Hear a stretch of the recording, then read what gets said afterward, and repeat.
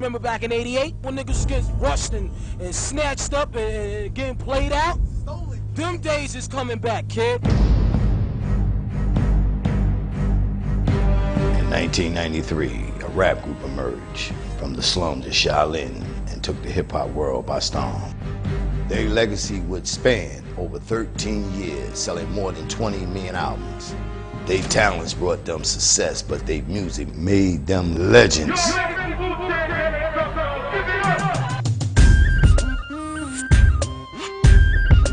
Took our negative ways and actions and put this into a positive form.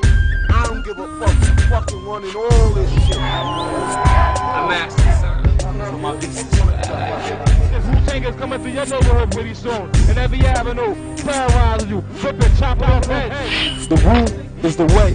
The Tang, that's the slang in it. It's the sport style.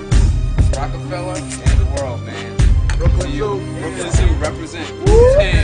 Wu-Tang. Ain't nothing changed with the clan, you know what I'm saying? It's still one love, one family, united to death, man, you know what I'm saying? This is my motherfucking life. Our MCs are incredible, so we about about blow the fuck up.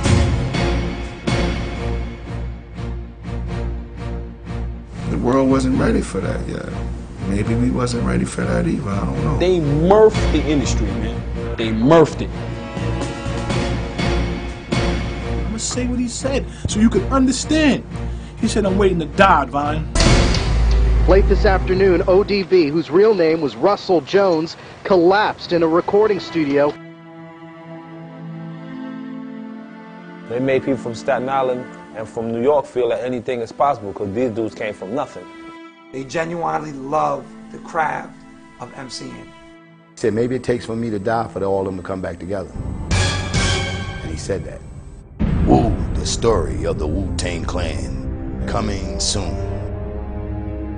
You never gonna find 10 ill niggas into the next millennium.